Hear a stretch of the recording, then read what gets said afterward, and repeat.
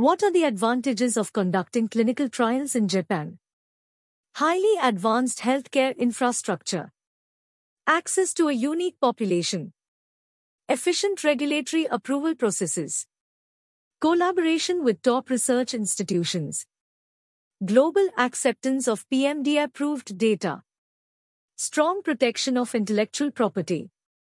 Well established research expertise and facilities. Potential for faster trial completion. Please like, share and subscribe Shri Ram Medical College YouTube channel.